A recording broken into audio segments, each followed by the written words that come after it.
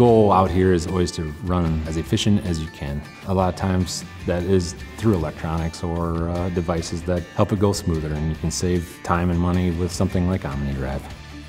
The best part about OmniDrive so far is just not having someone in that tractor and you always know that grain cart is there. You don't have to think what the other person is thinking.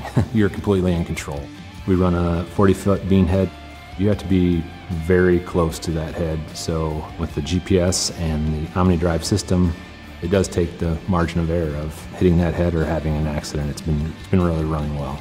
Once you get your field set up and your boundaries set up, it's very easy to use.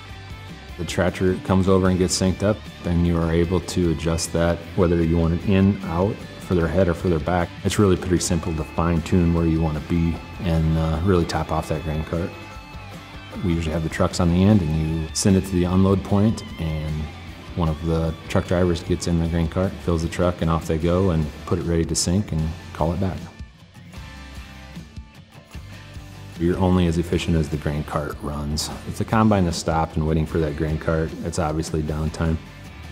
Anytime you can save money, save labor, and run efficiently, we love to run efficient out here, you just get that much more done in a day.